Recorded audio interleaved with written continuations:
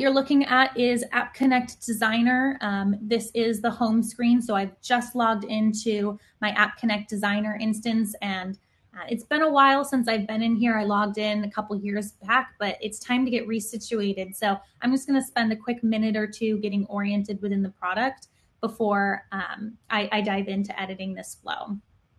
So the first thing I'm seeing is the Acme Coffee Roasters um, flow that Martin had set up for me. Perfect. Checking out the options I have available at the bottom, event-driven flows, creating an API flow, import a flow, or I can access Toolkit. At the top, I also see this help option um, and my, my management console is all available through there. Okay, perfect. So um, all of the things that I expect to see within the product, I'm feeling pretty good so far. Let's get oriented on the left. I have the home, the dashboard. This is where I can see all of my flows really easily. The catalog where I can check out my out of the box connectors. Oh, and perfect. I see Salesforce has already been connected for me. Great. Um, just quickly checking out a couple other options for the future. I see templates. This is great in case I want to go ahead and build some, some more flows on my own.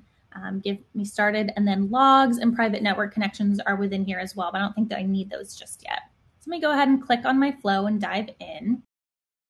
I'll give it a second to load. And here I can see Microsoft Dynamics, which is the uh, order management system that we use here at Acme Coffee Roasters. And you can see that it's already been set up to flow through Oracle e-business suites for um, Gifts Inc., our, our first business partner to New York. But I want to add in just in time. So I'm going to go ahead and click that uh, else if node. And um, I'm not certain how to fill in these details, but I can see the details from above um, for our other partners. So I think I'm just going to go ahead and imitate the information that they put within there. Ship to state, I see it pop up. I can fill it in really quickly, equals, and then I'll go ahead and set it to California for our West Coast order management system. Perfect. And this is the end of the flow. So I'll make sure I click the exit um, and provide a closeout message. Just copy the same uh, sort of message we have for New York. Right now I need to actually connect a system for this. So I want Salesforce. So I'm going to go ahead and click that plus node and um, hopefully I will see a, a list of my connectors pop up that I can select from. Open perfect and Salesforce already connected right at the top. So that's really easy for me to be able to find um, and select to be able to, to bring into this flow.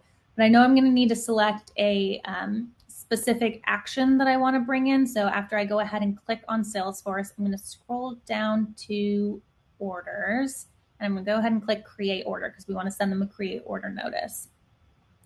So I see that get pulled in um, right there, looking good looking like I'm able to do what happened with the Oracle Business Suite piece pretty easily myself, uh, even though you know my integration specialist had done that for me previously.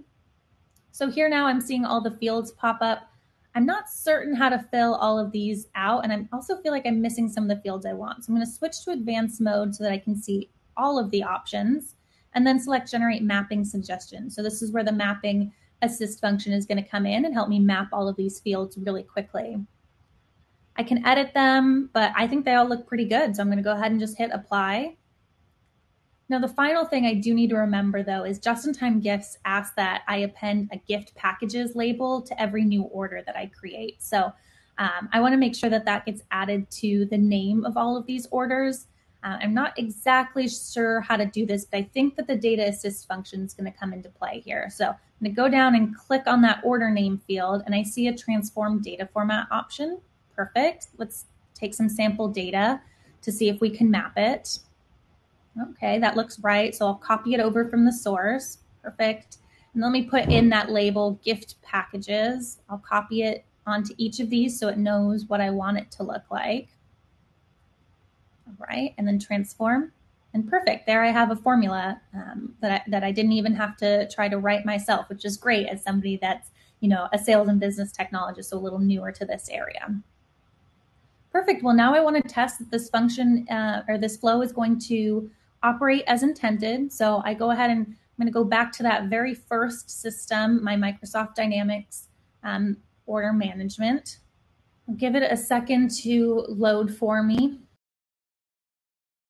All right, I'm going to want to generate some sample test data. So the first thing I'm going to do is go over this view available mappings and check out the sample data that we have populated within here.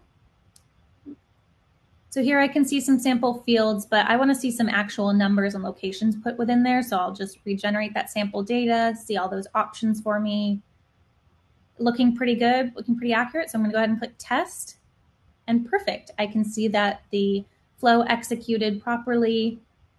Uh, I can click into it if I want to see any more information, but it looks like everything worked just as intended. So um, I can go ahead and exit out now um, and start the flow. And I will um, let Martin know that I was able to make all of those changes myself really quickly and easily. Um, and hopefully now we can go and quickly deploy it. Excellent. Thank you everyone for sticking with our demo. Hopefully that helped you see how easy it was for me at Acme Coffee Roasters to be able to quickly just add um, an additional um, business partners flow for order management into the process. Um, so very simple and streamlined and, and, able to take advantage of a lot of the capabilities from um, our AI piece as well.